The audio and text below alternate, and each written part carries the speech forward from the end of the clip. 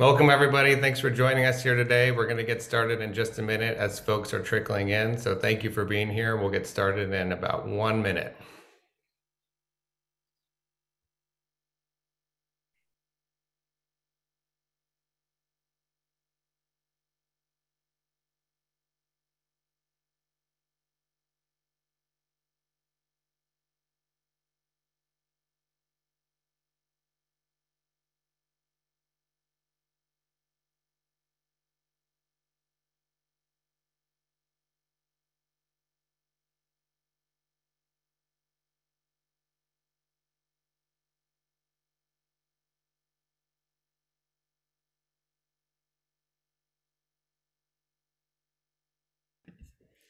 Welcome, everybody. Folks are flowing in. We're going to give it maybe 30 more seconds for more people to arrive. But thank you so much for being here. We'll get started in just a second.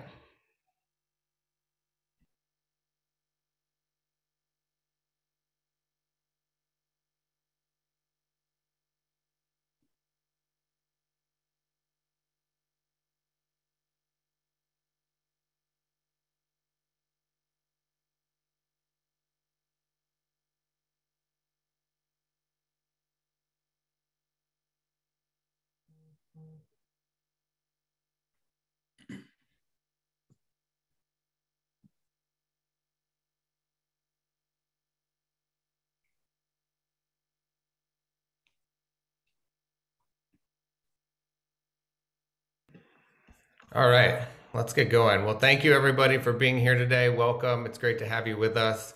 My name is Mike McLively. I'm the Policy Director of the Community Violence Initiative at Giffords. We're a national gun violence prevention organization named for former Congresswoman Gabby Giffords, who herself is a survivor of gun violence. I'm sure many of you are aware. Uh, Gabby was shot back in 2011 while hosting an event for constituents in Tucson, Arizona, and has dedicated her life to ending gun violence in the US. At Giffords, we do work around the country to address all forms of the gun violence epidemic. And with our CVI work, we're particularly focused on increasing awareness of and support for community based solutions to violence. It's our core belief at Giffords that CVI strategies from out from street outreach to hospital-based violence intervention programs are an essential part of the solution to America's gun violence epidemic. We also understand that these strategies rely on the heroic efforts of brave men and women who are healers, conflict mediators, crisis responders, and trusted, credible messengers who are putting themselves in harm's way in order to make our communities safer. It's our mission to make sure that America, at all levels of government and in the private sector, are supporting and investing in the field of community violence intervention and prevention in a way that is proportionate to the incredible importance and value of this work and of the individuals who are doing it and have been serving their communities in many cases for decades. So this is the second in a four-part webinar series on community violence intervention that we've been putting on in partnership with the amazing folks at the Northwestern Neighborhood and Network Initiative, also known as N3. Our first webinar, which is available to watch in case you missed it, uh, was an introduction to CVI work in general. Today's conversation will focus on the state of the CVI field and the frontline workers that are the heart and soul of this work. As part of our efforts to support the field, Giffords and many other groups in this movement have been working to systematically understand the needs and challenges that frontline workers are facing. In a national survey we conducted last year with intervention workers in Oakland, Los Angeles, Baltimore, and Chicago, we confirm what many of us already knew. Frontline workers are underpaid, face both direct and vicarious trauma from their work, and the vast majority had worries about, about job security because of lack of funding. This obviously needs to change. Today, we have an incredible panel of individuals who are working in this space and will explore in much greater detail the needs and challenges of America's frontline workers. This conversation is being recorded, so it will be available to be viewed later. Uh, and throughout the conversation, we, we are encouraging folks to submit questions. We want this to be a robust discussion between both the panelists and the audience. So please feel free to participate throughout, and you can use the chat feature to submit questions and comments. I also want to just briefly mention, since we have many folks here, we want to make sure we're getting the word out. And since we're talking about funding, the federal government has a $50 million new program called the Community Violence Intervention and Prevention Initiative, or CVIPI. We're going to put a link to a fact sheet that we put together about this opportunity that's for both community based organizations and cities, counties, and tribal governments that are seeking to implement or expand community violence intervention strategies. Uh, again, this is a $50 million opportunity with grants that are due in mid June. So we want to make sure that as many folks uh, as possible are aware of this opportunity and hopefully able to leverage it. And this also comes for the first time ever uh, from the federal government support around technical assistance, capacity building for smaller grassroots organizations, and the creation of a national resource center for community violence, which is an exciting development. Obviously, still not the level of investment nearly that we need to see in this country, but it is a step forward, and we want to make sure everyone's aware of this opportunity. So, without anything else, I want to introduce our incredible moderator for today's discussion, Mr. Dallas Wright, who is a research project manager at N3. Dallas is a lifelong Chicago resident with over six years of experience in the city's nonprofit sector. While he was working at Inner City Muslim Action Network to support the health needs of Southside families, he earned an MA from DePaul University uh, in clinical mental health counseling. His ongoing research interests include violence reduction, public health, and in- incarceration's impact on psychological well being. Dallas, I'll turn it over to you and thank you so much for leading today's important discussion. Thanks, Mike. And uh, I also would like to introduce uh, the other members of this, of this panel. I'm really excited for this conversation today. Uh, I also have with me uh, Jalon Arthur, the Director of Strategic Initiatives at Chicago CRED. Uh, we have David Hureau, an Assistant Professor at University of Albany, which is part of State Universities of New York, and Andrew Papachristos, the Professor of Sociology and Faculty Director at N3 at Northwestern University.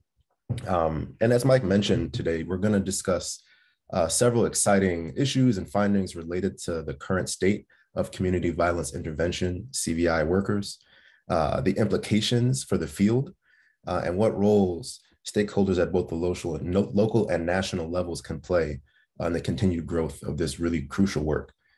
Uh, but before we do begin, I'd like to just level set a bit as folks continue to kind of uh, to trickle in uh, and talk a bit about what CVI is and why this uh, approach is really critical at this current moment. Uh, community violence intervention, right, CVI, it's an approach to public safety that relies uh, primarily on individuals, concerned individuals native to the, these communities that they're in, who are willing uh, to accept really the role of peacemaker and, and of healer, like Mike mentioned, uh, and to work tirelessly and reduce community violence uh, by engaging the individuals who are at highest risk of being victimized and or uh, participating in violence. Really, uh, as long as there's been community level violence, homegrown kind of peacemakers have arisen in a really organic way uh, to, to redress harm. We're talking uh, dedicated parents, faith leaders, uh, justice involved folks, survivors of violence, all, all, all types of people from all backgrounds who have really stepped up to risk their lives uh, over the decades and years to, to try to prevent others from falling into the cycles of, of, of deadly violence. Uh, something called street outreach uh, is, is really a key pillar of the CVI work. And street outreach is, is, is not a new thing. It's an old idea really that dates back to the mid 20th century, the 50s, 60s. Um, but it's maintained the principles of CVI at its core as it continues to evolve uh, to present day street outreach workers. Uh, they're they're known as uh, what we call credible messengers. Uh, in other words, well-respected individuals and figures in their communities whose word is trusted and who often share many life experiences with those individuals they're attempting to engage in the street.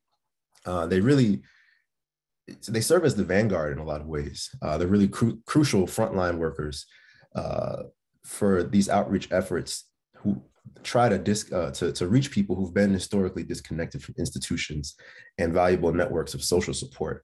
And so through these relationships that they build uh, over time, really uh, based on sincerity and persistence, uh, street outreach workers are able to, in ways that other uh, entities uh, in the community are unable to, they can connect individuals with impactful resources and help to diffuse group conflicts that tend to drive community level violence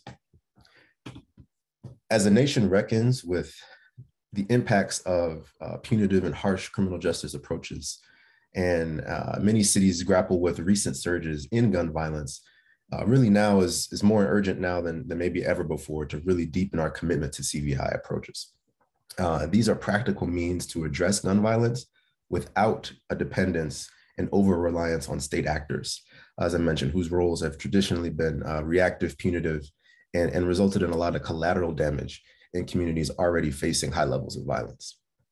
Um, at its core, this work is about human beings. Charts and graphs and numbers uh, we have to have and we'll, and we'll discuss, but I, I want to kind of really elevate the point that uh, underneath all of that, really, this work is about human lives and human beings. Uh, and so if we can disrupt these cycles of retaliatory violence and, and, and help individuals choose healing rather than picking up a, a, gun, that really is success. That's what success looks like.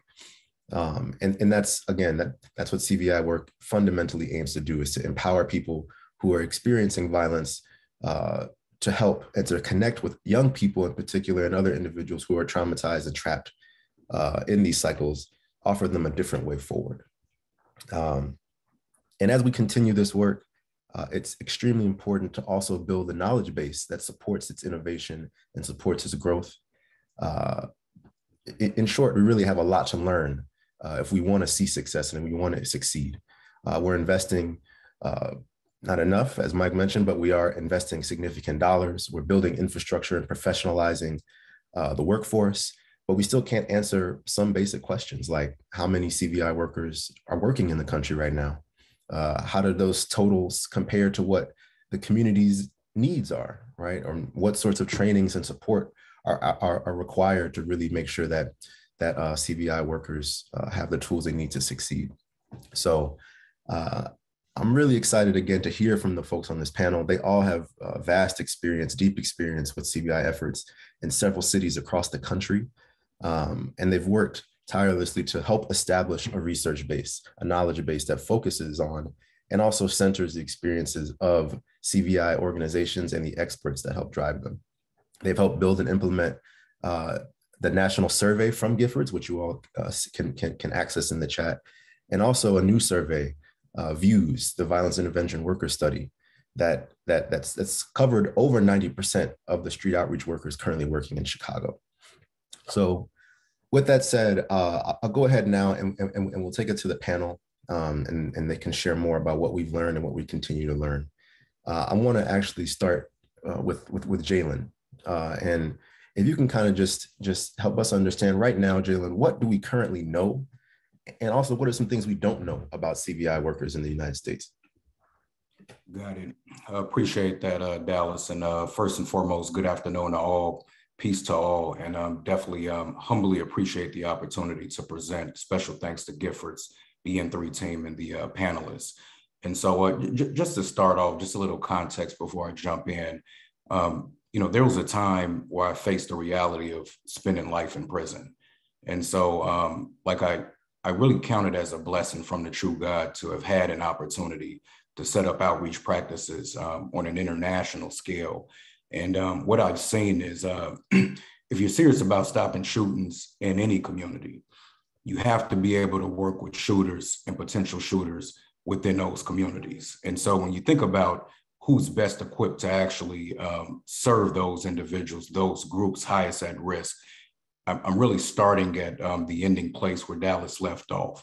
I mean, we are talking about individuals um, who have, you know, they're from the neighborhoods that they serve. They have a tremendous amount of credibility, courage. This is not for the timid, the weak, the the the people that are easily frightened. Um, you you got to have license to operate. You you have to have lived experiences. These are individuals that understand the culture of violence in their particular areas, which can be different, and they know how to network um, across you know high risk networks.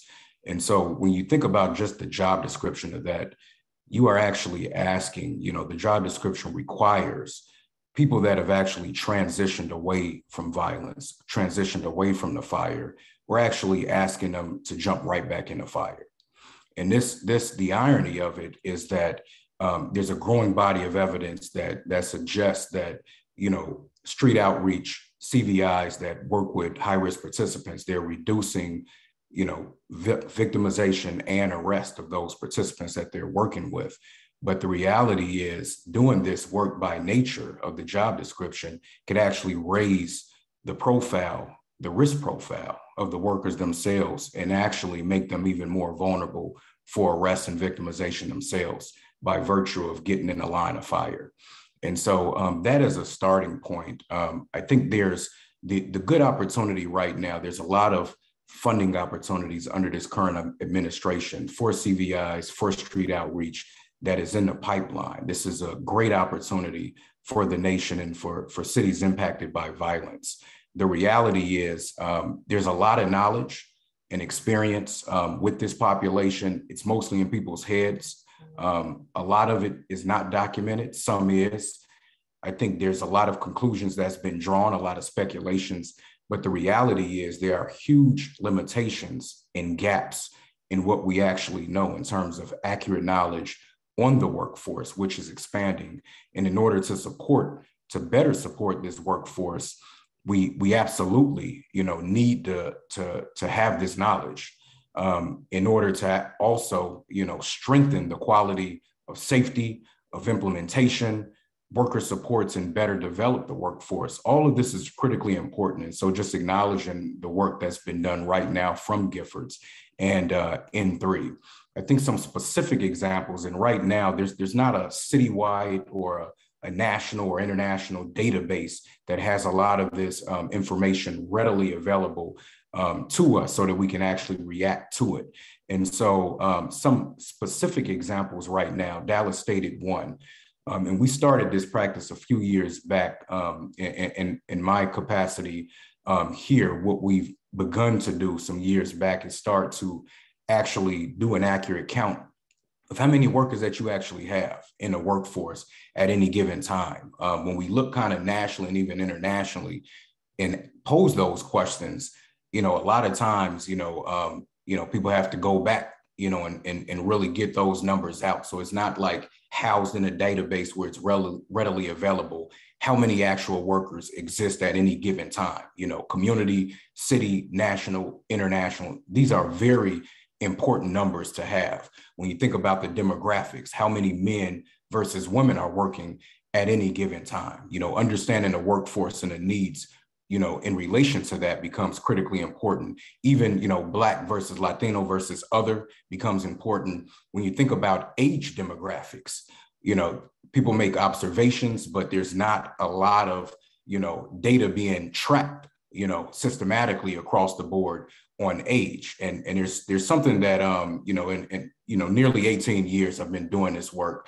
One one one analogy i always use is keeping up with the streets is like keeping up with technology you can become outdated in this field overnight i'm not just talking about outdated in the sense of um, you know different violence trends and different cultural trends we're also talking about you know new players you know and new cultures that are coming with this and and what I what I've seen, what I've observed is, you know, from time to time you'll have some teams, you know, that maybe every everybody on a team is 40 plus, 50 plus. You know, those are teams which sometimes are more vulnerable for having, you know, some disconnects in terms of the culture of the violence um, with the individuals and groups that we're working with. For example, um, you know, th- there's a strategy um, that, that, that I oversee in my capacity called 2020 Vision it's a social media strategy. Um, what we learned just with this strategy and engage in a workforce, there's a lot of workers that are not on social media, but even a step further, don't even know how to navigate social media when we're talking about IG, Facebook, and other social media platforms. Why is that important? When you think about the, the level of violence that's instigated online, if you have workers that are not online, are not following, are not monitoring social media trends, then the detection of, of, of conflicts is, is compromised. And so, you know, th- this is another key area where, um, you know, just even tracking age demographics and things of that nature can become important, even to the quality of work. Another symptom that I that I've observed in this work, when you think about, I look at conflict mediations in two buckets: direct or primary, and secondary. Um, what, what, what I've observed over time is, you know, if you, the primary or direct conflict mediation is when you're actually directly mediating with the individuals that are actually, you know, involved in a conflict. The secondary is when you don't actually have contact or make contact with the people that are directly involved, but you know their father. Or, or the worker may say, oh, I know the father, or, or I know the mama, or I went to school with the uncle. The secondary mediations can also be very effective, but the reality, what you see, if over time the number of secondary mediations are going up, the number of direct mediations are actually going down, then that could be a symptom that workers are becoming less connected to the population that we're working with. And so these are just things to, to be, you know, looking out for when you're actually doing the work. The reality of the work, you have to constantly reestablish your LTO, your license to operate. You don't, you come in with a network, you build relationships, and guess what? You know, people die, people get locked up, groups get apprehended, new groups emerge. And so you're constantly having to reestablish though your, your networks, reestablish your license to operate.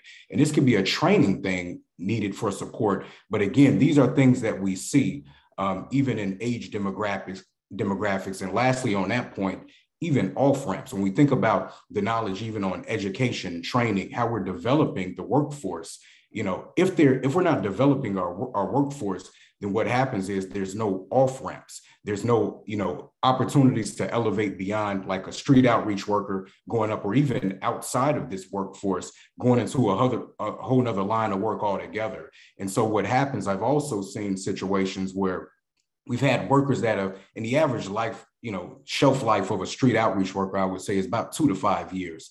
Um, you know, but we have some workers that have done it much longer. Some of those are still some of our strongest workers. They may be in 40s plus, still strong workers. But then we have some who started strong. Guess what? They're disconnected now, but there's no off ramps, there's no other opportunities. And so, based on loyalty, we have some organizations that say, you know, well, look, they they've put their lives on the line, they've worked with us, put in a lot of good work we don't want to just you know we don't want to just let them go even though we know they're not effective now because then you know you know are they going to be able to find other work? And so all of these things come into play when we're talking about capturing um, a lot of critical information. When we think about trauma exposure how many workers have been shot you know on the clock off the clock? You know i mean? Have been killed on the clock off the clock.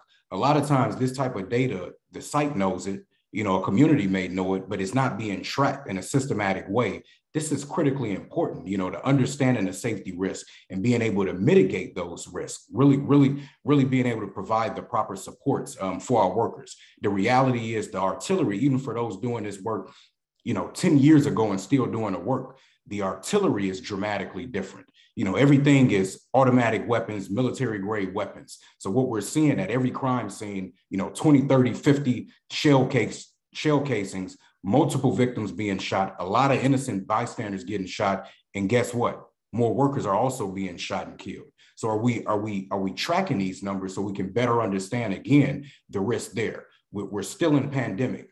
How many you know some some sites began tracking the number of of uh, COVID infections to the workforce. Others did not. Others, we have sites where people, you know, got COVID once, twice, three times, whatever the case may be. Workers went down. No one was tracking it. So what does that look like? You know, for a community, for a city, national level, what does the COVID infections look like? You know, th- these are all very important, you know, things that we have to know. The, the secondary jobs, you know, as Giffords pointed out, you know, the the number 60%, you know, making under 42,000 a year this puts people, this put workers, puts workers under a lot of stress to actually acquire secondary positions, which waters down the quality of the street outreach in the first place because street outreach you have to be flexible. You have to be able to be responsive in real time to situations. If you're working a secondary job guess what? You're not available during those hours. So as, as seasonal shifts and things begin to shift it becomes a problem. And then and then even you know workers are tired. They're exhausted they're burning out quicker. And so the reality is there, there's a lot of pay differentials in terms of that. And there's a lot of places where no one's getting cost of annual cost of living increases. Are we tracking this? If you're if if we're if they're not getting cost of living increases, they could be making you know a, a, reasonable amount right now. Maybe it's on par with the with national levels. But guess what? Year two, year three, year four, they're making the same amount. Guess what? They're making less money now. So, so all of these, like, are we tracking these these particular trends? You know, last a last point I'll just bring out in terms of tracking data. think about re think about arrest. You know, we've had workers that have been, you know, arrested or rearrested um, while serving as, you know, CVI or street outreach.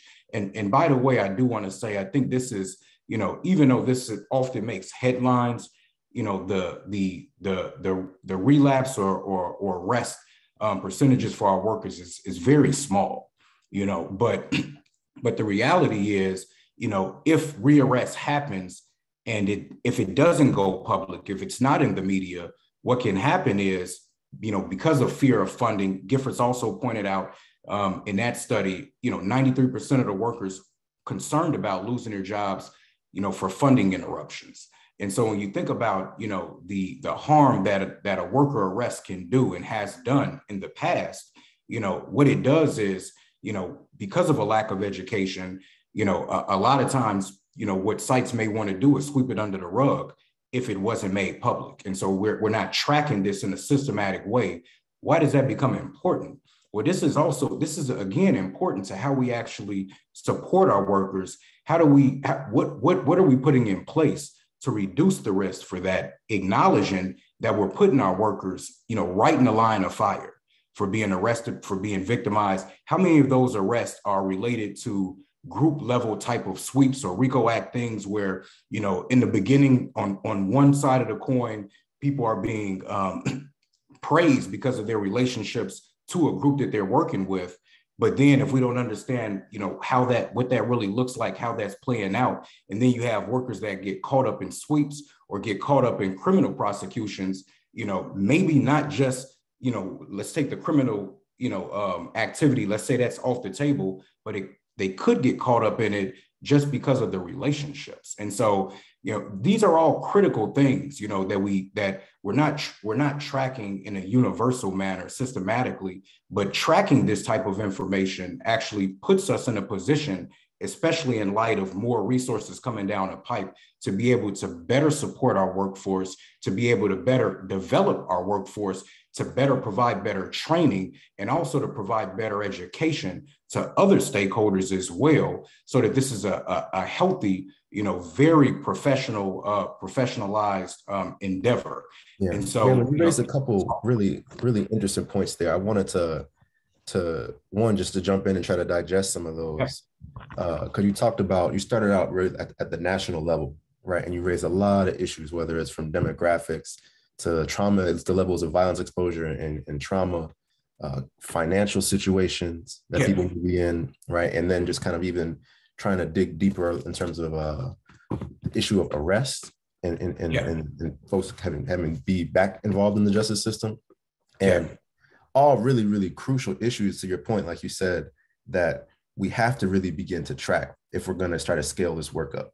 Um, and so I, for me, that seems like a really, really good pivot because I want to be able to kind of turn to, to Andy and David here, uh, and then yourself as well, to be able to talk about an example of, of, a, of, of an attempt to dig a little deeper and start to track some of these metrics that you've mentioned. Um, and that uh, effort I referenced earlier was the VIEW study, the violence uh, violence workers intervention study. Um, and so, Andy and David, if you could just kind of quickly talk about where did how did the idea tell the story about how the idea of the VIEW study kind of was born, uh, and why is it so important uh, right now to do something like this? Yeah, thank, thanks, Dallas and Jalon. Thanks for for setting the stage, and and we're gonna mix it all up here in, in just a second. And and before David kind of talks about the making of the survey and the doing of the survey, just, just a couple pieces of context about how we approach the whole project. You know, everything Jalon just said about the workforce uh, and going back to something Dallas said about how long we've been trying to do this work. Uh, there's a there's an older researcher, Matt Klein, and David Hureau reminded me of this when we started working on this. That said, look, the the program is the worker, and the worker is the program right? And so, if we are serious, to Jalon's point about stopping violence, engaging people with lived experience, engaging the expertise from communities, not just engaging it, amplifying it, boosting it, but if we can't answer these basic questions that Jalon has laid out there, that the Gifford study is showing us, that our work is showing us, right? There's not another workforce out there that that we don't understand that with teachers, law enforcement, hospital workers, nurses. I'm sure there are many other populations I'm missing that we don't know about. But when it comes to this work at a time when when gun violence is surging and we want these things to work and we have to focus on this workforce and centering that in discussion is crucial if we're serious about building violence prevention infrastructure.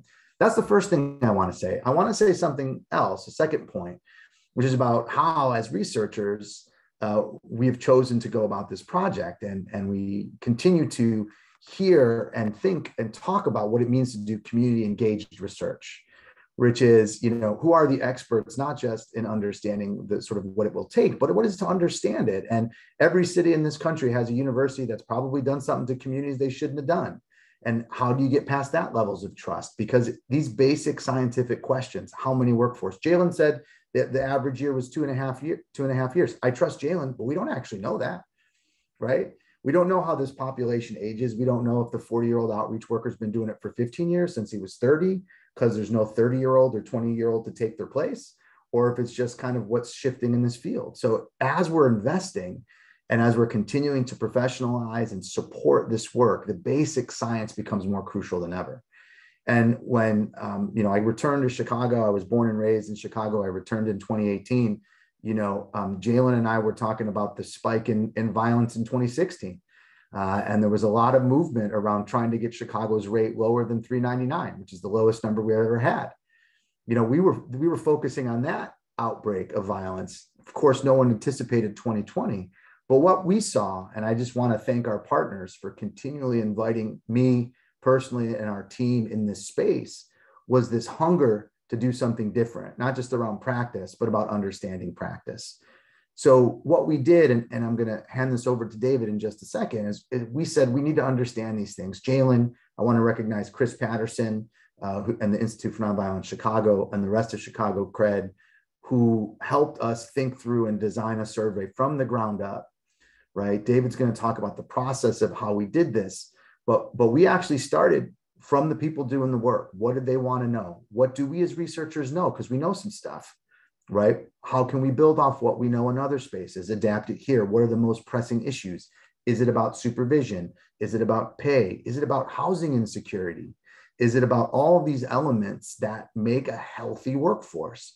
and not just that a healthy workforce of organizations that are largely black and brown that we want to succeed we don't want to set them up to fail we want to set them up to succeed so understanding that work and understanding that workforce was was really the first you know impetus for you know what what we call the views study uh, you know which stands for and I'll, I'll get myself out of the way here the the violence intervention worker study and i'm going to just pass it off to david really quickly about the genesis of the survey uh, as well as the process of trying to to actually find, interview, and st- and talk to, in this case of Chicago, nearly 200 professionals that are in this space every day. So, David, I'll, I'll pass it over to you. All right, hi everyone. Thanks. Um, thanks to everyone for joining the call. Thanks for my fellow panelists. Um, uh, this survey, as Andy mentioned, was a long time in the making. My own my own um, experience with street outreach goes back to the late 90s, actually, uh, working in, in Boston. Um, and really the study, the, the study has been in my mind for at least 10 years. Uh, I recall talking with um, with Andy a, a, decade ago, Talia Rivera, who I know was on this call. I, I talked about it uh, way back when, who I used to do uh, outreach work with and would tag, tag along in the South End. Um, and really, the survey was built up about a, a, by a bunch of different impulses that came from different eras uh, in, in, street, in street outreach research um, and from different contributions from different kinds of places and cities. So um, the first impulse, of, course, as, as, folks have mentioned, is to try to understand who are the people that do this work.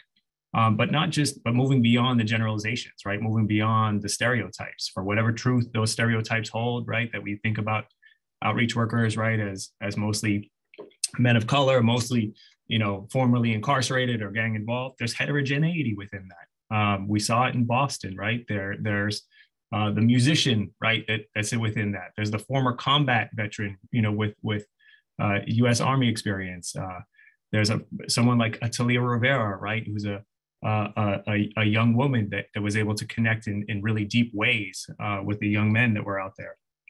So, uh, trying to understand this this diversity and heterogeneity within the experience of being an outreach worker. And that includes, by the way, you know, folks that were coming from an organizing background or a youth, you know, worker background uh, that were very effective outreach workers. Um, in Boston, uh, as part of my work on, on the evaluation of the of Street Safe Boston, uh, one of the questions that emerged was, you know, what makes an effective outreach worker? Who are our effective outreach workers, right? And to do that, we need to know more about, you know, who these folks are systematically.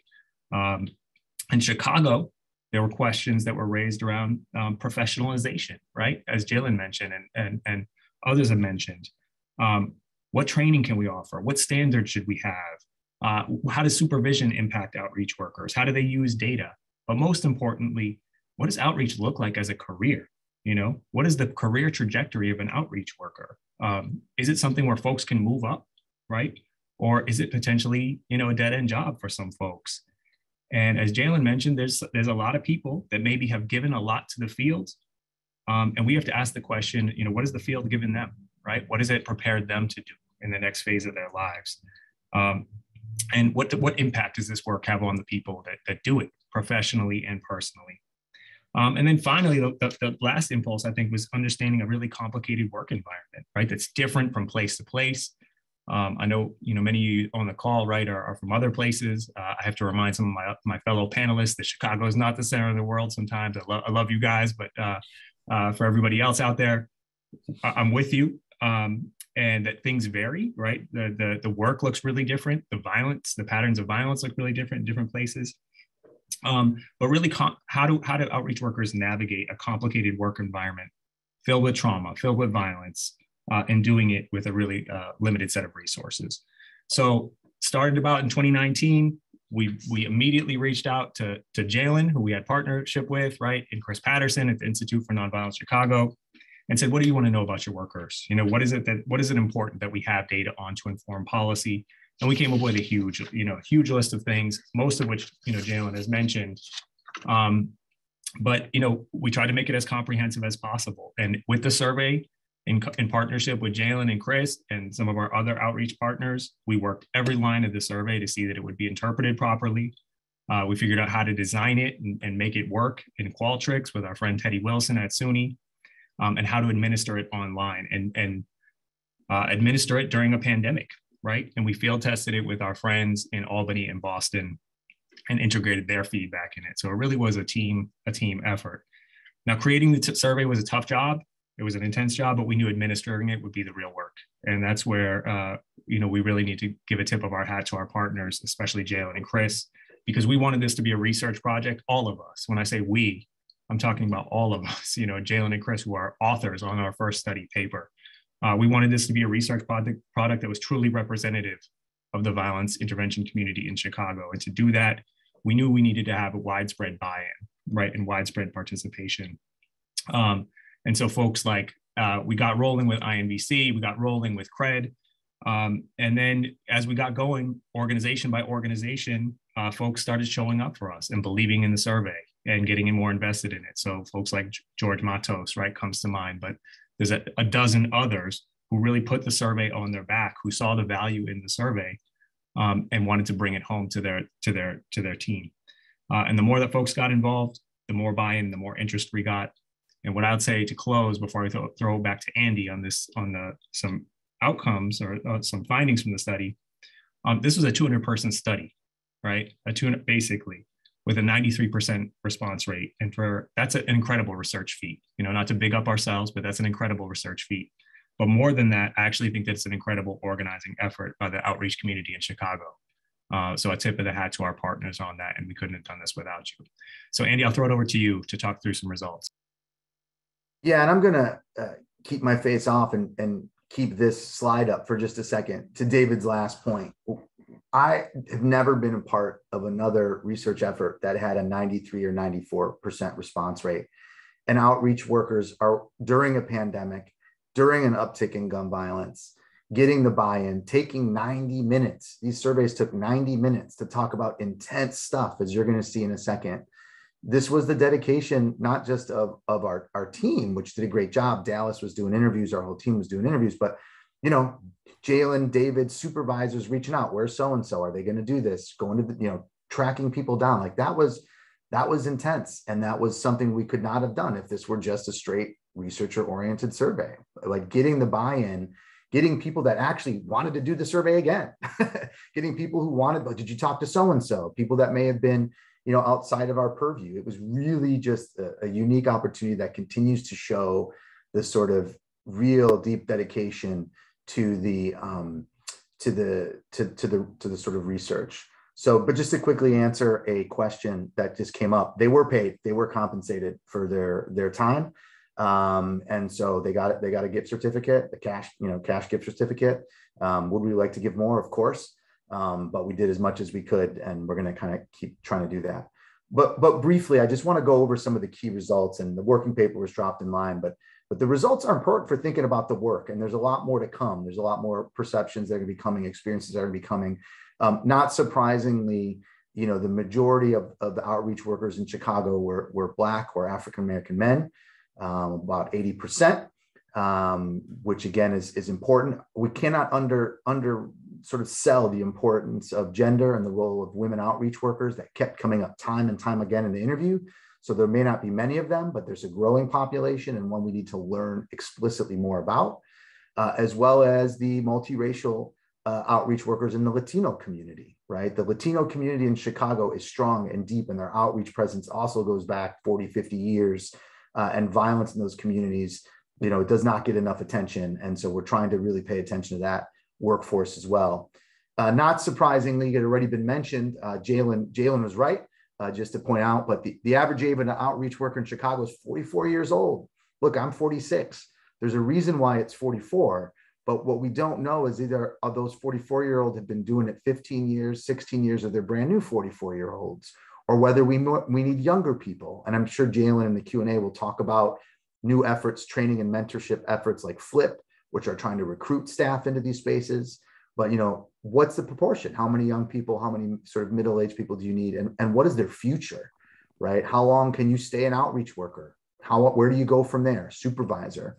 Um, you know, we're still, it's only the first wave, but we got a good snapshot of what the workforce looks like what I want to talk about now, and this is really, I think, will be the impetus. It's the impetus for our first paper, which which David had mentioned and is in the chat box, but also the thing that gets talked about as it should be, but we need some numbers on, which is what are we talking about? A job where we knowingly place people with a history of trauma, uh, and and we're putting them in the space where they're going to be exposed to gun violence. The, the first thing I want to stress is that outreach workers are quite literally first responders. 80% of the individuals in our survey, 80% of outreach workers in Chicago, because this is a census basically, get to a scene of the shooting before other first responders. So they are literally the first. In many instances, I don't have the numbers in front of me. Sometimes they administer life-saving first aid, right? So 80% of the time, they or 80% of respondents reported being on the scene of a shooting first. 73% saw a deceased person at the scene of a shooting. So they're showing up, they're seeing people and you know harmed and injured, and they're seeing people die right in front of them as they're doing their job. And in many cases, and we're still learning about this, the same blocks where they might have been shot 20 years earlier, right? The same block where they've seen others killed and injured. So they're getting exposed to this on the job. And more than that, 60% have seen someone shot at doing their job, and 32% have seen someone shot and hit by that bullet while doing their job, right? This is the work. The work places outreach workers in positions where they're, they're, they're witnessing violence, they're experiencing violence. And of course, one of the things, and again, we have another paper that, that we just finished, it's not ready for consumptions, but over half of outreach workers have, have experienced the death of a participant. And I think David will talk about this perhaps later too. This is unique. They're not just first responders. They stay with individuals after their moment of injury, after their moment of pain. They, they get them into services. They're building relationships. So this 52%, this is this is a relation. These are people they've worked with and gotten to know, uh, and that's really vital. And the last thing I'm going to say, uh, which is, if you're putting them and they're exposed to violence, the outreach workers themselves are in harm's way. And, and we've seen in reports from Baltimore, of outreach workers shot and killed in this last year. When we asked these 200, nearly 200 outreach workers in Chicago, 20% have been shot at while conducting this work. And 2.2%, almost 3%, depending on you know how we're looking at these numbers, have, have been shot and hit while doing their job. 2%. You know, and by the way, there are no comparable numbers because going back to what we do and don't know uh, about outreach workers in this workforce, we haven't collected this information. This exceeds the rates of, of uh, injuries related to assaults of many other first responders. Uh, so this is a this is a job of individuals who come from the community, who care about the community, who are putting their lives on the line to do the life-saving work of the community. And this is just from one snapshot. And, and that's kind of that's where I just like to leave the this this last part. Yeah. Thank you, Andy. I, I go ahead, Jalon. No, no, no, no. I was just gonna go, go ahead, Dallas. No, I was just uh it's just a trip seeing those numbers again because yeah, I hadn't revisited them in quite a while. And uh every time I do see it, it just kind of takes me back to some of those conversations, difficult conversations we've often had um, over the course of that study. I wanted to kind of open it up to the group and just ask, you know, seeing these numbers again and, and just recalling the things that we did learn, both from the Gifford study and also especially from views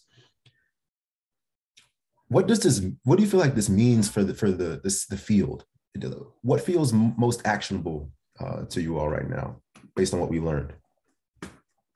So so, so a couple of things jump out to me um, in, in, in terms of just tying both the Giffords and the uh, N3 study, which are both critically important. I mean, I think just starting first with uh, with Giffords on um, the the one of the one of the things cited there was 93% of the workers felt like there wasn't enough workers um, you know, supporting them in the community. And so I think this is this is an actionable item. I think um, you know one one critical question is what is the proper dosage, you know, of workers in, in, in a particular community. And really, you know, me and Andy have had these conversations um, in the past, really trying to you know figure out a way to uh, more accurately accurately arrive at that. I mean, I see a number of teams across the nation who are incredibly stretched and and and when there's not a lot when there's not enough workers what happens is they're uh, they're constantly in a reactive mode it's difficult to even get in a proactive strategic mode because you're constantly responding to fires and and you're burning people out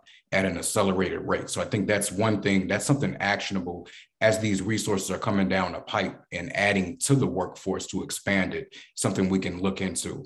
I think the other thing, um, you know, looking at the N3 study, this 44 average uh, median age um, for, for outreach. And, and, and again, I want to be clear, even on some of the age comments I made earlier. I mean, what I've observed, I would say, and this is a personal, this a professional bias, some of the strongest teams are those that are balanced you know, that has some some of the younger workers. You know, you have some middle aged workers, older workers. Um, you know, be, because the reality is, I mean, I think even just tying some of the rearrest stuff, you know, a lot of a lot of agencies are, you know, have some fear in hiring younger because even though the younger workers are a lot of times they have more intel, they're they're more closely connected to what's going on in a culture.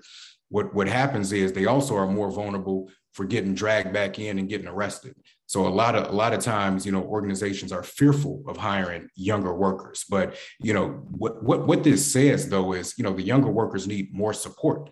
And so more mentorship for some of the middle-aged ones that's been around a little bit longer. So this is this is just something that's important for us demographics um, wise. But one one last point on age, and this is something I want everybody to be conscious of. When you have a team that's just 40, 40 plus, 50 plus, what you do is send a you send a message to the community and to the population that you're working with that you basically have to age out of violence. You got to wait until you're 40 plus to get out of violence. When you have workers on your team that's in the same age bracket as the population we're serving, it actually inspires them, let's gives them hope that guess what? We can make change right now. We don't have to wait until we're 30 plus, 40 plus after we did a 10 year stretch, 20 year stretch that's that's critically important and being a message that you bring. Uh, just a couple other important points. I would just say um, the Gifford study talked about the st- st- significant difficulty in workers separating personal life from work life. Um, the reality is, and even in the N3 study, we captured the number of workers living in the communities that they serve. Outreach has for decades, you know, praise that as, as a strength. You know I mean? Workers living in the same community that they serve. The reality is it's going to be very difficult though. Um, and this is a good thing, but it's going to be difficult for them to separate work from personal life when when you're living in the fire in the community and people know your your role so you're always going to be getting activated um, for that so this is just something just for us to be um, aware of in terms of training supports and, and, and things of that nature um, lastly i'll just say in, in n3 there's some other studies not even i mean in, in this view study even like um, incarceration the length of incarceration you know some of that stuff was in the study this becomes important as well you know keep not every single CVI or street outreach worker does has been incarcerated. You know that that that's even though the majority have that lived experience, and so the support that some somebody who's never been incarcerated that's coming into the work versus somebody that did 20 years and now they're a, a, a new street outreach worker, or somebody that did two or three years and now they're a new street outreach worker, the level of supports may be dramatically different. And so, in the same way that you know male and female counterparts, the, the, the, training supports and things of that nature becomes, you know, critically different. And so all of these are, in my mind, um, Dallas, these are actionable items that we can be really, you know, um, baking into the supports, the training, and and the education, you know I mean, and the recruitment, you know I mean, as we're recruiting new workers, you know, what that looks like. I wanted to jump in on something that J- Jalon said, and it's it's one of the things that we've been talking a lot. I, I will begrudgingly admit that Chicago might not be the center of the universe, um, but around this issue of what's the right level of workers, right? So in Chicago, there are about 200 to 225, 230 workers. In contrast, there are 12,000 police officers, 35,000 teachers, 5,000 firefighters, and EMTs.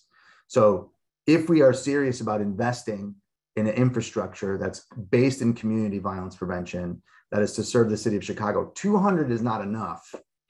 I'm not willing to say what the right number is, but I do want to say one word of caution, which is one of the things that that this work on the ground, as well as the survey and work being done by others, and right now, is um, we just can't hustle to hire workers, not train them, not support them um, you know that's one of the things that i think we want to caution against are we taking care of their safety their health their mental health do they have the backroom support? And and right now because we're in the midst of, a, of an outbreak and an epidemic people are, want to fund programs people want to invest in cvi and we need to do that. But we cannot forget the support you don't see on the front page the backroom support for staff right? The work if the workforce is the intervention and the intervention is the workforce keeping the workforce healthy and safe is so fundamental and understanding that as we scale up is the trick. And and i had mentioned this in a different panel oftentimes an outreach worker described it as trying to build build a bridge at or building a bridge as you're trying to cross it.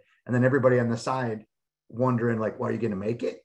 Um, and what's happening here is and the reason i'm bringing this up is mainly because what expectations are we putting on cvi relative to building a workforce and supporting it, right? Is it even reasonable to say with 200 workers in the city of Chicago, it would have an impact on the homicide rate that is going to capture the front page headline? It's actually not, right? In fact, whether or not the participants do well, whether the workers do well. So part of what we do as we're thinking about CVI works is we need to level set what is the expectation of the impact of the workforce we have? 200 and then as it gets bigger, maybe that expectation changes. But that's important because if what we're going to do is say, you know, these programs are going to quite quite literally live and die by a homicide rate, um, which is not the right way to measure the impact. We, we're, we're I'm worried that we're going to set them up to fail. And I think that is one of the things that we really need to be cautious as we're continuing to expand is are we expanding in a healthy way for the people who are putting their lives on those front lines? Do they have the supports they need? Uh, and I think that's that's a great conversation to be having. And just to follow up real real quick on that, Dallas is you know, and and Jalon, um, you know, we are in this this moment where we it seems like this is eager to expand, right? And even those of us that love this work have to acknowledge, right, that, that the work's not perfect. There's still a lot we need to know, right? That's where we started. Um, and I think one of the questions that's raised by this research, this round of research, is one, you know, are there ways that we can reduce worker exposure to violence without pulling them out, right? Without reducing services to communities that really, really need them. And by that, I mean, you know, 2% of our workers, more than 2% of our workers have been shot, right? Our friends in Baltimore had three workers killed in a 13 month period, right? Are there ways that we can meaningfully reduce risk while still doing the work, right? That's a mean, that's an important question. That's on the direct side. The second question it raises is about exposure to violence for clients and recognizing that workers, um, they're part of a caring profession, right? They've, they've experienced the, the loss of a client. And that, that loss we show in this other piece of research is coming out of the study um, really impacts their mental health. Uh, and in fact, the loss of a client really drives uh, the secondary traumatic stress responses of workers to the point where they can they can even be exposed to PTSD uh, by that exposure. So, what ways can we make this workforce? How can we support them? How can we make them more more healthy? And by part of that is how can we do things that re- will reduce exposure to violence, but not uh, water down the work. Yeah, but another point, uh, Dallas, I would just say you're going back to this uh, Gifford study on the 86% concern about losing their jobs um, due to funding interruptions. I mean, I think the, you know, it's it's our responsibility, especially as resources are coming down a pipe. We need mo- we need multi-year funding level commitments. Doesn't mean that you know each worker you know you're getting a guarantee as long as they're doing their work obviously but um you know you know these types of funding streams where you're you're there for six six months six to 12 months and then it's interrupted. You know we've been able to interrupt that cycle um, you know thanks to a you know a, an enormous effort you know with pspc a number of local funders and, and a lot of you know now the city county state has has kicked in. But the reality is we need multi multi-year funding commitments so that so that staff are not under the heavy burden and anxiety that you know we're working today but we may be out of work tomorrow. So we got to figure out you know what other what other means of support that we can um, leverage. So that, that that's one that i think is also you know something that's uh, actionable um, in the near future. Um, other than that i just I, I just want to just also say i mean i think you know the work of a peacemaker this is this is a noble position. Um, and this is they deserve you know dignity respect support. And um, and again, I just think you know the Giffords, the in, the View study is just critically important. We're going to need to expand upon that um, as well. You know what I mean um, on a national, international scale and go deeper. But this is this is really this is a critically important discussion that we're having, and I'm excited that uh, that we'll be able to start applying some of these principles. Yeah, no, thank you all for that. And it's interesting how you all kind of converged uh, at a, a really interesting kind of forward-looking point, right? The points about multi-year funding and the comparisons between kind of the, the level of staffing in a city like Chicago for outreach workers compared to, to police officers, firefighters, EMTs, and others. Um, it, it, I'd like to kind of to, to shift a little bit and talk about kind of given these. Hey, hey, hey, hey, Dallas, not, not, not to cut you off. I was in my mind, I don't have data to support this. I, yeah, in yeah. my mind, probably the most dangerous professions right now in Chicago is probably one being a rapper, you know, two being an outreach worker, yeah. you know, three being a police officer, um, four probably being like a Uber or Lyft driver. You know what I mean? Mm-hmm. Like these are like very dangerous professions right now. And so definitely need a lot of support. Yeah, yeah and so when that support as it as it's coming and as we you know push for more of that support i'm curious to hear from you all what how do you all envision the role of cvi street outreach uh, in the midst of the larger kind of uh, public safety or, or, or, violence reduction sphere how, how does that fit in with those other pieces I'll go. I'll go ahead and, and jump in. I mean, I think the other lesson we've learned not not from this the view study but our just work these last four years and again i know david has, has seen this in boston and other cities is you know outreach organizations are neighborhood institutions.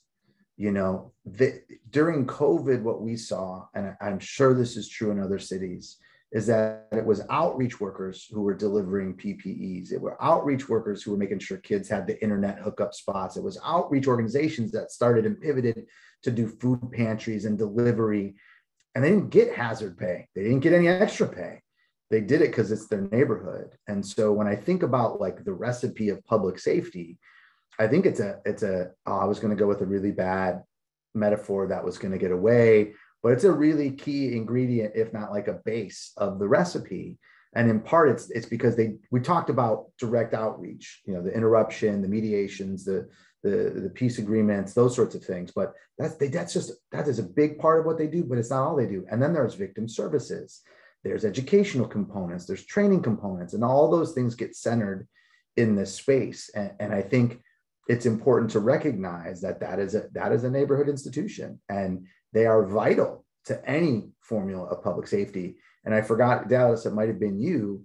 You know, most disputes never get called in anywhere. Most of the disputes get handled locally in the home, in the family, in the neighborhood, in the block. We've known this for hundreds of years. And street organization, uh, the outreach organizations, you know, embody that and try to try to improve that. And so they are a key formulation. The right recipe, though, I, I think that's a, a conversation we should be having.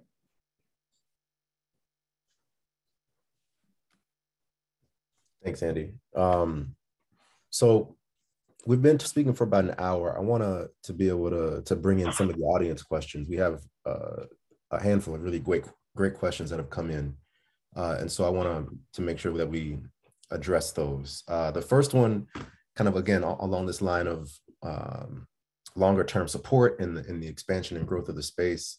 Uh, the first question from the audience is, how can you push for multi-year funding commitments, or how do you make that pitch? Uh, when we're not necessarily seeing decreases year over year in homicides or shootings? How does that pitch work? So, so, so I'll, I'll jump in on that question first, and um, and, and I want to humbly just say, um, I, I don't have the solution for that. Um, this is what I can say. What what has been done. Just looking at Chicago, and again acknowledging um, the PSPC funding. Um, you know, it's a it's a network of local funders in Chicago. And and really you know probably since the spike in 2016 i would say street outreach in this city has really um, been built off the backs of that anchor of financial support. Um, before that there were you know it was up and down up and down. What with this network of funders pulling their, their resources together um, they were able to actually you know you know really secure um, co- commitments over time. You know I mean? You know, year after year, um, and so that you know, you know, fu- the funding wasn't just um, dependent on public sector funding. Now, as we're getting um, our public sector has been kicking in more and more. Um, I think that that's a that's a question that you know people from the city, the county, the state have been tackling. And I think that that there are. Um, I have seen um, now funding commitments come down a pipeline three years of funding committed to this issue, you know, two years of funding committed to this issue. We're seeing that now, even coming through the public sector from federal and state resources. And so um, it, it can be more challenging sometimes city, but we are we are beginning to see that now. And so that that becomes really important to sustaining it. The other thing I want to say, um, and this is just really to challenge, you know, everyone more broadly, you know, if if violence is going up in any particular city. You know, apart from like defunding police efforts, there's never really a question that, you know, the violence went up or it went dr- dramatically up, that, you know, the law enforcement um, in that local community or, or district is, is going to be, you know, the funding is going to be stripped and it's going to be reduced to zero because the, the, the, killings went up this year. When we look at, you know, CVI, street outreach, and other non-policing strategies, you know there's a there's a there's a strict reliance and dependability that people want to say you know if it goes up one year then it doesn't work cut it like that's that's not the right way to be looking at things and we we we have to the same way we can't be short-sighted with funding commitments we can't be fun, short-sighted even with the whole um the whole approach you know what i mean? Um and and and and understanding of you know how we get violence down over time and recognizing that this is a critical element of it. So you know if, if there is a year that it spikes we don't pull a plug. You know what i mean? You learn from it you tweak you, you become stronger but you but you stay the course. And if we're and if we don't have uh, stakeholders that are committed to staying the course then you put workers in this unhealthy cycle of guess what if if, if god forbid we have a spike you know, we all lose our jobs tomorrow. You know what I mean? That's just, just not the right way to be looking at this. This is not a, we didn't get into this violent situation you know, overnight. And we're not going to get out of it overnight either. Like we have to be committed to a long-term game. I think real quick, Dallas, on this, outreach has to be part of redefining what public safety means. And public safety is not just about did violence go up or down, you know, year over year. That's not the way we should be thinking about public safety. We should be thinking about what does community violence intervention do? What does public safety look like in, in, in quote unquote safe communities, right? It looks about looks like healthy institutions. It looks like places where material needs are built. It looks like places where all the residents and citizens are integrated into the social fold, where there's quality services, where there's participation, um, where residents are organized and activated, right, around quality of life and and and um, and safety, right, and and well-being. And I think that that's a thing that outreach can and should do. And we can't, although violence is going to be part of it, and violence intervention is going to be a big part of it. As I put in the chat, you know, our folks in Buffalo right now are mending the social fabric right now. They're doing more than just violence intervention, right? They're meeting basic material needs for people who are traumatized, who've been harmed, um, and who now exist in a food desert and are providing them food. These are the things that outreach does that is beyond strictly violence intervention. And honestly, I think we've done a we've gone taken it as far as we can, honestly, in terms of you know promoting violence intervention as the thing. We should be focusing on violence, but it's long term, right? It's long term and it's about redefining public safety and outreach. And this strategy can be a critical part of that if we led. So agreed, David. Oh, I'm sorry. Go ahead. Go ahead, Andy.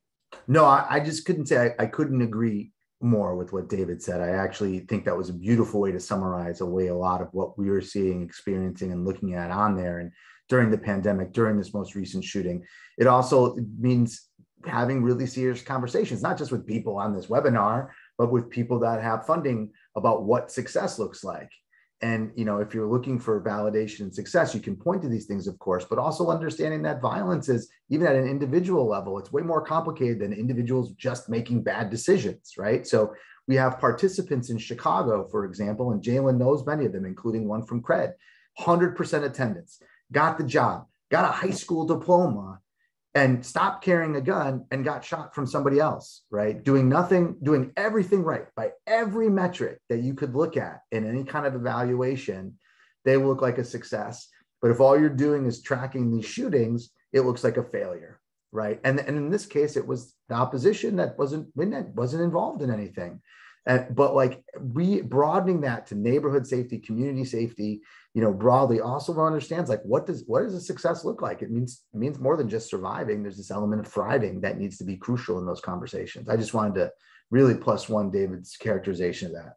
Yep. And, and the only other thing I wanted to add, and I agree with both uh, Andy and, and, David on both on all points there. Um, I think the reality is, um, you know, evaluation still is important though. And it, this is why, like N3, and you have a number of different evaluation arms that has to be um, baked into any strategy in any city. And, and that is not, that's also not a short term process. That's a long term process as well. And so, you know, we, we definitely have to tie what we're doing to some real evidence. You know what I mean? And that's how we tweak, that's how we expand, that's how we grow and learn. So that that part is is important. And we're never going to get to a space when we're when the main you know the, the core of the mission is reducing shootings and killings where those two indicators are not going to be important and so um, but these other the other context that's been shared by the panelists is important here lastly case in point i mean you can look at a city, city like los angeles who you know at one point in time were having more than a thousand homicides you know with with with you know, an enormous amount of efforts um, at every level, you know, um, to, to actually get violence, you know, under a level of 200 homicides.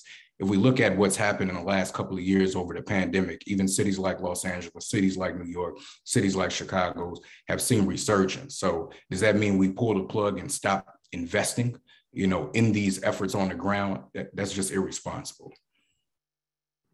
No, all tremendous points. And I want to point out in the chat, uh, there is a link to a research brief that that N3 published in 2020, uh, going into more detail about this, uh, the issues that David and Andy and Jalon are touching on, and just the multiple hats that outreach workers wear and and their ability uh, to fill urgent needs, uh, really uh, underneath tremendous levels of stress. Um, the next question I want to turn to from from, from the audience, uh, I think this this also ties in pretty pretty nicely. The question is, what sorts of skills do you all think that uh, stakeholders, organizations, uh, experts could help equip outreach workers with that would help them build the sorts of uh, desirable and transferable skills that allow them to either continue to ascend and can kind of root themselves more into the anti-violence space and become a leader or to even pivot to another profession. Or even just for their own personal benefit you know dealing with trauma for example. Yeah so i i, I can jump in on this uh, first. Um, i think it's very diverse in terms of uh, the needs and even interest um, of our staff across the city across the nation that are doing this work. I think um, there's there's opportunities that I have seen um, at certain agencies that actually um, allow their workers uh, tuition reimbursements, allow them to be able to uh, get you know higher level education and other types of training um, on the agency's dime and that is uh that's that's something you know when, when i've seen you know individuals take advantage of that we've seen a number of our workers you know get you know bachelor's degrees and other types of higher level education. And these are individuals that i have seen actually ascend into you know leadership positions um, not exclusively but many of these are ones who have ascended into leadership positions you know in this space. Um, some have actually started their own you know, um, non-for-profits um, in the same space of work, and others have transitioned into, you know, similar similar positions, but maybe um, in a periphery in, a, in another um, field. And so, I mean, I think one thing is definitely um, making those resources available for staff.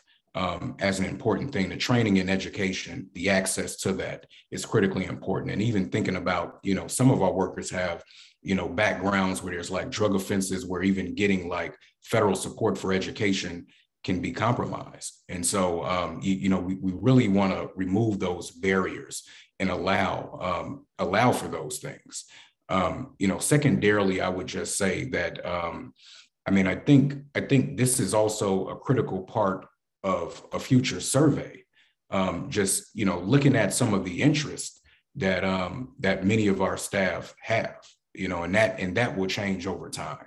Um, and then looking at doing a market analysis to understand, you know, what types of um, what types of fields are ripe, um, you know, for you know workers that that have certain backgrounds and and, and experience and and traumas and, and other things, um, so that they even know what's available to them becomes critically important as well.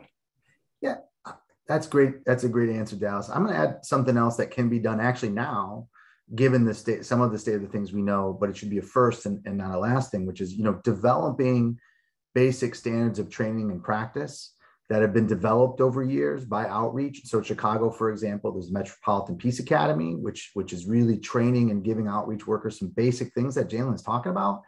Um, and I know that it's happening in other cities. I don't know the names of, of, those things. I know LA has a similar practice, but like really stand, taking the time as professionals, which is going on, and and to train and to certify and to get them the skills they need which by the way oftentimes and this is something we saw doing the interviews and surveys this is the first time people have talked about trauma. They didn't even think trauma existed because they didn't even have a good chance to talk about it their life when they because they've been moving constantly right? So even as they're going through the training to do the work that they're doing there are these opportunities for healing and development but there are best practices that exist that you can have as a baseline. We could start there. We could make sure that, uh, you know, whether it's in cities and states across the country, the sorts of, you know, and again, what do other professions have? They have a, they have a, a network of practice where they share information. This is working in Baltimore. This is working in Buffalo. David's example in Buffalo, we saw that in 2020 in Chicago when there was, you know, tensions between black and brown communities. Who, who mediated that dispute?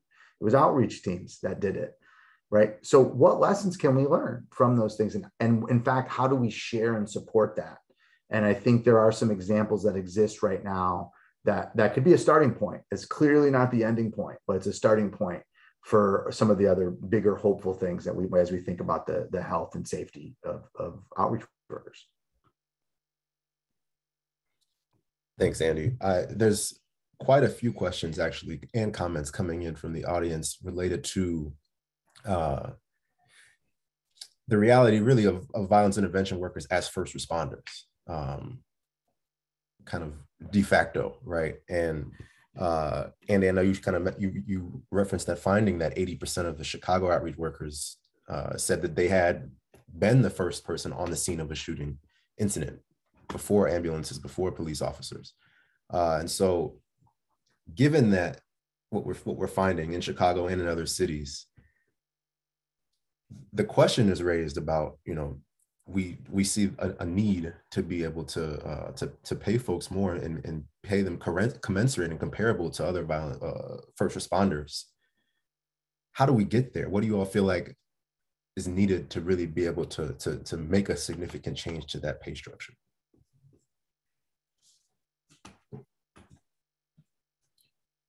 So so so I'll just I'll, I'll start on that. I mean, I think um, I, I don't think that is as complicated as it sounds. I mean, we have uh, we we've addressed this um, with a number of community partners, um, even in, in the past three to five years. We had we had some partners that were paying their uh, staff, you know, twenty some thousand dollars a year, thirty some thousand dollars a year. It's it's really um, you know it's really just embarrassing, and um, and, and, and there's no excuse for it. Um, these pay scales need to be adjusted. Um, whatever agency, interagency um, you know processes that need to take place to do that needs to happen. And then as new resources come in um, we need to fund we need to make sure that the budgets um, accurately reflect um, what the pay scale should be. And and it's also a responsible practice to make sure that we're um, putting in that we're factoring in cost of living um, you know increases on an annual basis. Like these are things that we in any other workspace um, most of the time these things are happening. So there, there's a there's an adjustment that needs to happen for any partners that are below where we should be. There's there's a process to actually make sure that there's cost of living increases. And then there should always be flexibility though for um, that that accounts for experience um, education, things of that nature as well. I mean, if you if you're paying your worker 45k, um, and and that's a starting worker that just came, you know, fresh off the field, no street outreach or CVI experience, but then somebody that's that has five to seven years experience, and you're starting them off at the same, I would question that as well. So there should be, you know, there should be a minimum threshold, but there should always be flexibility for a range that that allows you to take into account these other factors. Thanks, Jalon. Um, the one, the one thing ahead. I would add, the one thing I would add to that is, is really valuing the work uh, as as a first responding role, and and I want to again, um, David Hureau mentioned this in our conversation. Post first response or post responders, right? So this is a big difference. They don't just show up at the shooting; they're they're engaging with their participants and clients over extended periods of time. That's more like students, that's more like social workers as well, right? It's not they don't just show up, mediate something, and then they're out. They're, they're actually investing in relationships, and so, but that saying yes, they are, uh, you know, that that that kind of constant refrain in policy spaces and public spaces that says they are actual first respond, not not figurative. We're not just saying it. They literally are doing that work. And P.S. They're doing more than that but actually valuing them socially as such, treating them as such is is key. It'll change. It should hopefully change other dialogues too. Yeah, D- D- Dallas, can I just jump in on one, one, one yeah, thing please, as well? Uh, just in, in, terms of actually attracting new talent, and, and a lot of times this is younger talent as well. Andy referenced the flip strategy earlier. I mean, this has been a, a definitely a key mechanism for us in Chicago and for our listeners. I mean, flip is a is a summer based strategy. We're looking at hotspots um, that drive violence across the most impacted neighborhoods.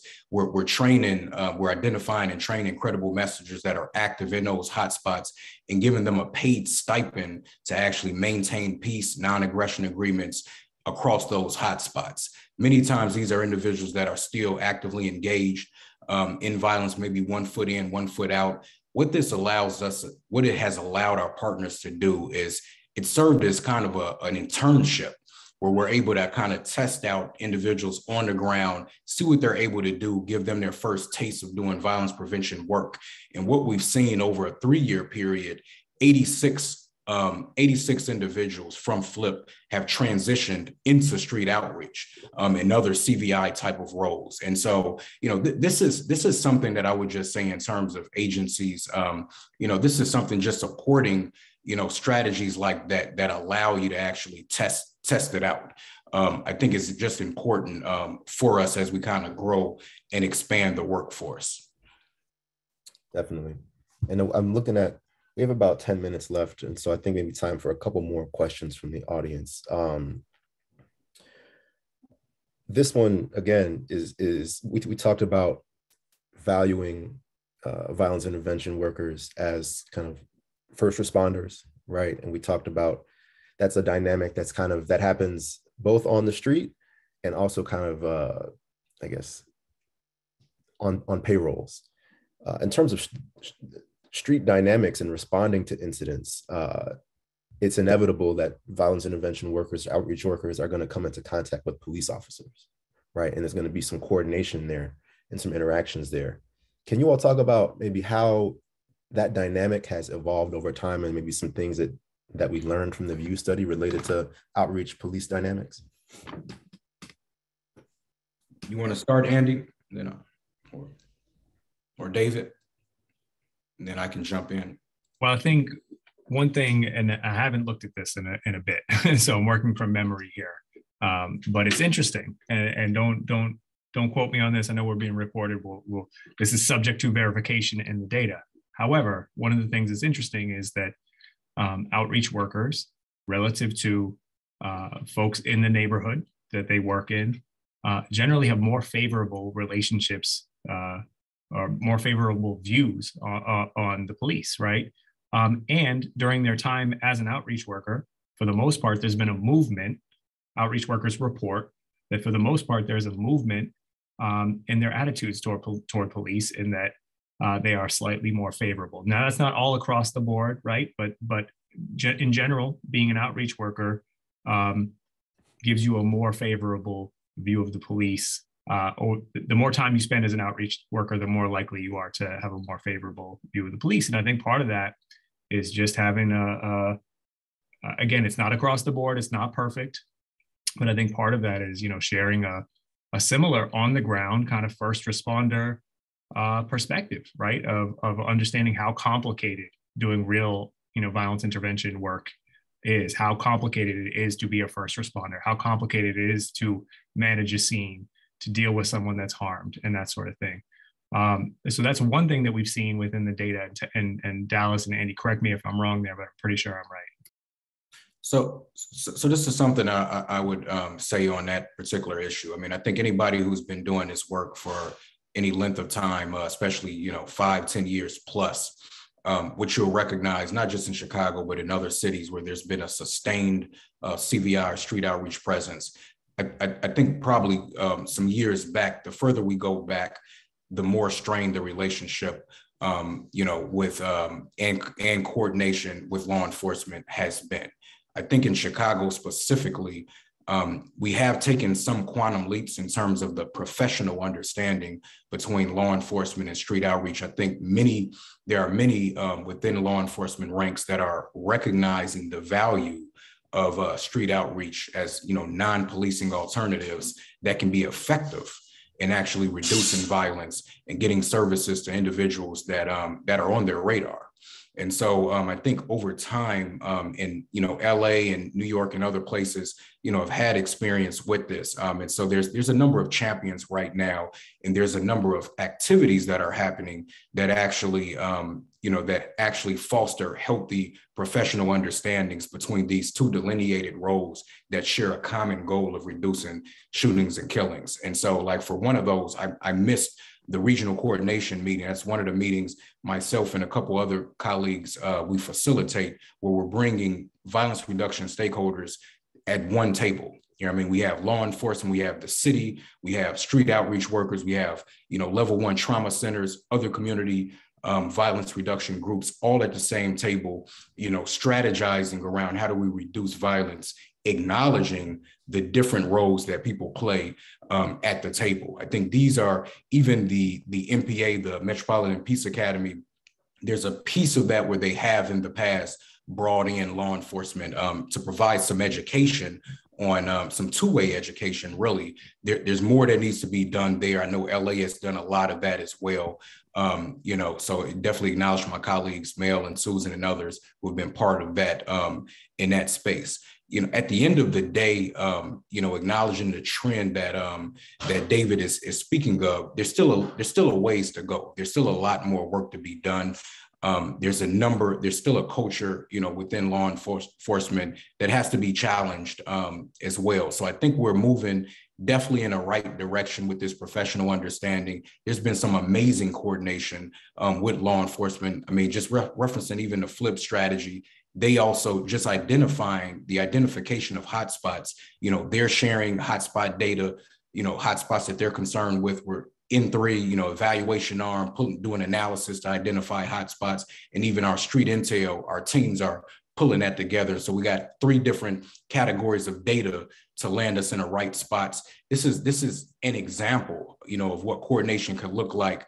But coordination not meaning, you know, if law enforcement is looking at street outreach for the value of of, of being a confidential informant, then they're missing the whole point. That is not that is not a role for street outreach. And so um, I think the education, I think, um, you know, I think just being able to do stuff on the ground and for people have to be able to see the value themselves. And I think, I think what we've been, what we've been demonstrating with the open and willingness um, on the ground is our, our value and the, the evaluation arm, last point, sorry, um, you know, like stuff like N3, stuff like the crime lab, stuff like other other evaluations that have been out there um, in a past.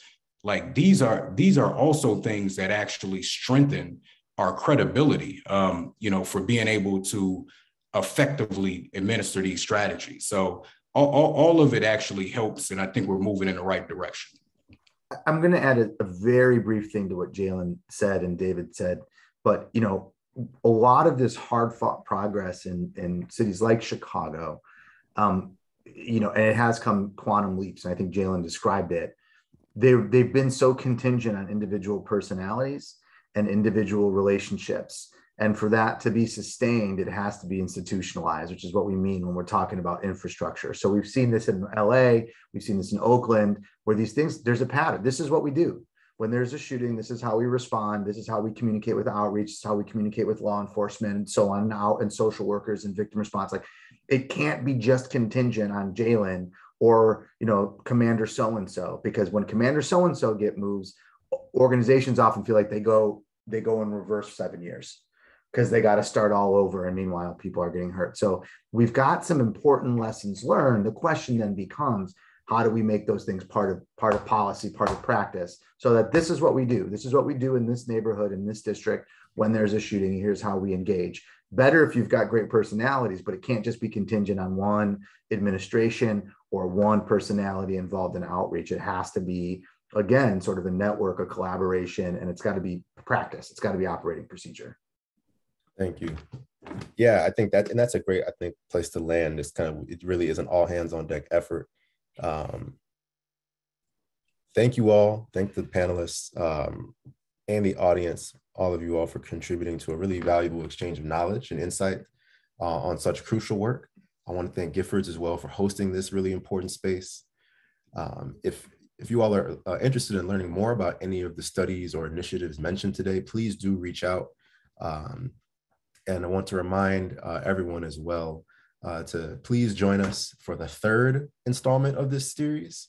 Uh, it's scheduled for June 23rd at 10 a.m. Pacific time. Uh, we're going to continue to build on the conversation that we had today, as well as turn our focus to really promising efforts uh, related to kind of what we talked about, right? Providing needed support uh, for these community violence intervention workers. So stay tuned. More details will, will, will, will be to follow uh, and enjoy the rest of your day. Thank you all so much.